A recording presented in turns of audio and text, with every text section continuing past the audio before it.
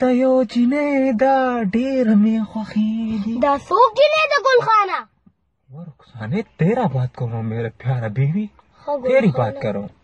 ٹھیک. میرے پیارا بیوی. وہ رخسانے ہاں گل خانہ. یار ہمارا شادی کو کتنا عرصہ ہو گیا نا لیکن میں تیرے سے شروع سے سوال پوچھنا چاہتا ہوں۔ تم مجھے جواب دے گیا؟ دے دوں گی۔ رخسان ہے مجھے تو نے ابھی تک یہ نہیں بتایا کہ تیرے کو شادی سے پہلے کس قسم کا لڑکا پسند تھا مطلب کس قسم کے تجھے لڑکے پسند ہوتے؟ میں تو لڑکوں میں خاص انٹرسٹ نہیں لیتی تھی گل خانہ۔ میرا بیوی میرا پیارا بیوی بس صاف ستھرا ہونا چاہیے تھا۔ وہ نسڑی بچیا خواشا ہاں ہاں رخسان رخ میرا رخسان ہے بول بول۔ صاف ستھرا ہونا چاہیے تھا سفید ہونا چاہیے تھا ہینڈسم ہونا چاہیے تھا۔ امیر ہونا چاہیے تھا۔ گاڑی اس کے پاس ہو بڑا بڑا بنگلہ ہو اس کا۔ اس کے پاس شیف ہو نوکر ہو سب کچھ ہو۔ اس کے ساتھ میں خوش رہوں گی۔ وہ تم سے اچھا کوئی نہیں۔ وہ میرا رخسانہ۔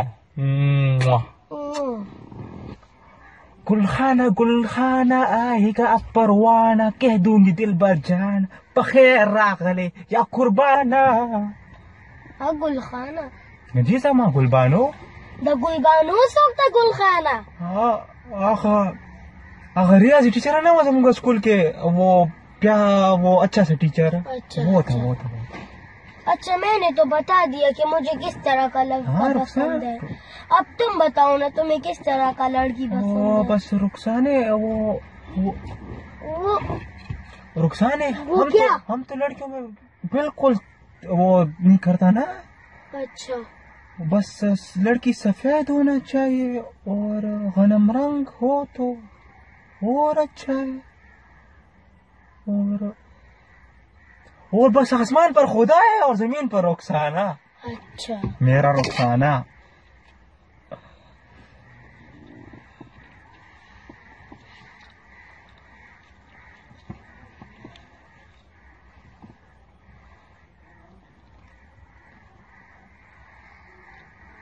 اکیلی تنہا جیا نہ جائے رخسانے کے بن رخسانے کا چشمہ ہر ٹائم خراب ہوتا ہے ہمارا رخسان لڑکا پسند ہے مجھے تو خاص انٹرسٹ نہیں لیتی ہوں لڑکیوں میں یہ تو میرا لڑکیوں میں نہیں لڑکوں میں ایسا ہاں میں خاص کر لڑکوں میں انٹرسٹ نہیں لیتی ہوں وہ نسڑی بچی خوشا میں تو لڑکوں میں انٹرسٹ نہیں لیتی ہوں بس سفید ہونا چاہیے جاب اچھی خاصی ہونی چاہیے سیلری ذرا پچاس ساٹھ ہزار ہو پھر تھوڑا دیکھ لوں گی تو رخسانے تو نے مجھ میں کیا دیکھا تھا کہ مجھ سے شادی کر لی تو اس میں میں نے بہت کچھ دیکھا تھا گل خانہ دیتی ہوں بس صاف ہو نہ یار یہ کیا کہتی ہے میں نے؟ صاف ہو۔ ہاں صحیح ہے ہو۔ صاف نہ انٹرسٹ نہیں لیتی ہوں بس سفید ہونا چاہیے صاف ستھرا ہونا چاہیے اور سیلری اچھی ہونی چاہیے اور اور کچھ بہت اچھا ہونا چاہیے جو کہ تم میں بالکل نہیں۔ کیوں؟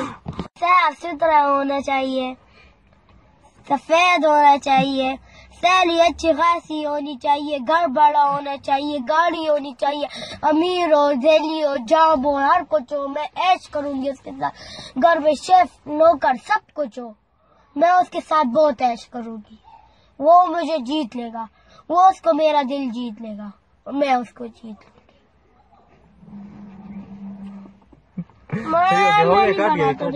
گی۔ ہوں۔ تیرے کو کس طرح کا لڑکا پسند تھا شادی سے پہلے؟ مجھے تو بہت لڑکے پسند۔ مجھے تو لڑکوں میں خاص انٹرسٹ نہیں ہے۔ بس صاف ستھرا ہونا چاہیے۔ یار سنو شکل تم صحیح بناؤ۔ صحیح طریقے سے میرے سے باتیں کرو۔ تم یا قربانہ۔